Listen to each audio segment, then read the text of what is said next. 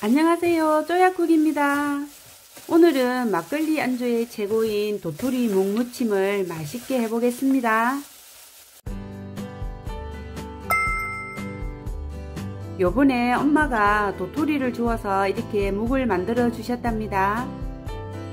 이틀 지났는데 이렇게 굳어 있어서 탱글탱글 새 생명을 불러일으켜 볼게요 굳어있는 묵을 데칠 건데 통째로 데치면 시간이 오래 걸리잖아요. 이렇게 잘라서 데칠게요. 소금을 넣고 끓어오르는 물에 썰어놓은 묵을 넣어주세요. 1분 정도 끓인 후 불을 끄고 2분 후 건져주세요. 양파는 너무 가늘지 않게 채 썰어줍니다. 당근도 어슷썰기해서 채 썰어주세요. 오이도 어슷썰기해서 반을 잘라줍니다. 로메인도 다른 야채와 비슷한 크기로 적당히 썰어주세요. 상추보다 질감이 단단해서 무침할 때 좋은 것 같더라고요. 치커리도 씻어서 적당한 크기로 썰어주세요. 아삭하게 씹히는 노란 배추 속도 넣어줄게요. 반을 자르고 적당한 크기로 썰어주세요. 부추도 썰어주겠습니다. 쪽파도 조금 썰어줄게요. 땡초도 송송 썰어서 다져줍니다.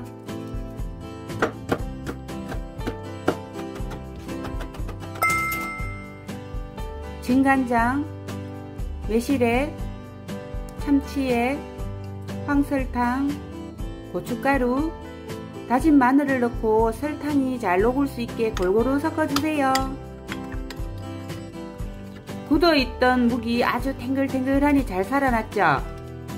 도토리 묵을 썰어 볼게요. 도토리를 많이 넣고 만든 거라 그런가 색깔이 진짜 진해 보이죠?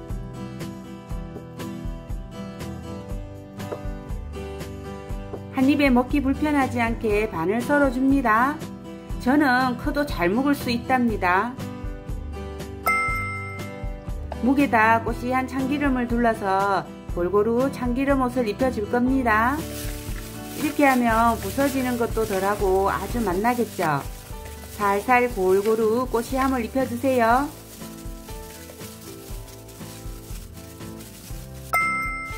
이제 준비해둔 모든 야채를 넣어주세요. 맛있게 만들어 놓은 양념장도 넣어줄게요. 여기서 중요한 게 있는데요. 처음부터 묵이랑 같이 버무리지 마시고 야채를 먼저 묻혀주세요. 야채가 있는 윗부분을 먼저 양념장이 뭉쳐있지 않게 골고루 묻혀주세요. 같이 묻혀도 상관은 없지만 묵이 부스러지지 않게 야채를 먼저 정성껏 묻혀주세요. 야채 양념장을 다 버무렸으면 이제 전체적으로 같이 버무려 주세요. 구운 김도 넣어줄게요. 통깨도 솔솔 뿌려줍니다.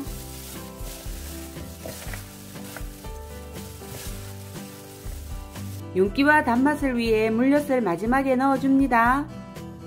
도토리묵을 하면 왜 막걸리가 먹고 싶을까요?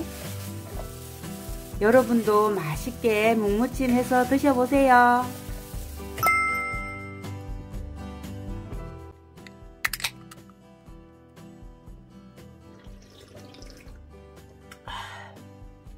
음, 막걸리 맛있는데?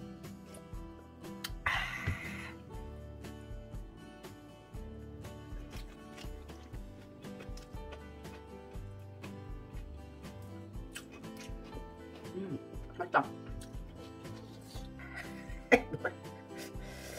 땡초 한 개만 넣을 걸 그랬다. 채널을 찾아주신 모든 분들 건강하고 행복하세요. 다음에도 쪼야쿡으로 도움이 되셨다면 구독과 좋아요 부탁드립니다.